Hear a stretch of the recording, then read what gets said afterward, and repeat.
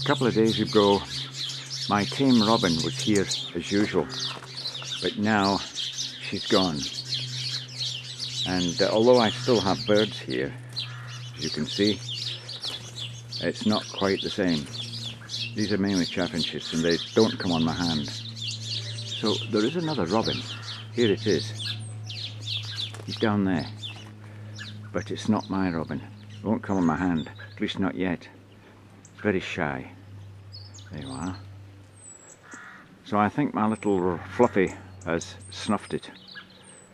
So this is by way of being a robin obituary.